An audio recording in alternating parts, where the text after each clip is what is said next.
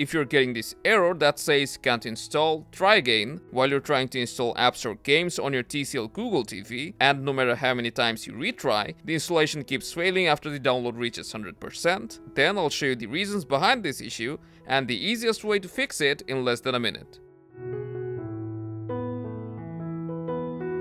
First we will try the very basic troubleshoot, which is restarting your TV from the settings. For that, go to settings, then system, go all the way down and hit restart. Press it again to reboot your TV and this will fix any software glitches that may be causing this. After your TV restarts, if you're still getting this error while trying to install apps, then in the next step we'll try clearing the cache of Google Play Store.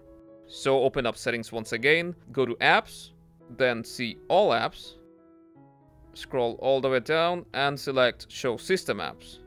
From this list, find Google Play Store and go to Clear Cache. Hit OK. You can also go ahead and clear its data if you want.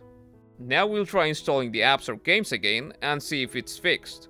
But if the problem persists, then it's probably because your TV has ran out of storage. This was the reason in our case. So next we'll try to clear up some space and this is bound to fix this issue. You can clean up a fair amount of space by using the built-in safety guard. To open that, open quick panel, from there select safety guard, go to device manager, select deep clean and then open apps cache.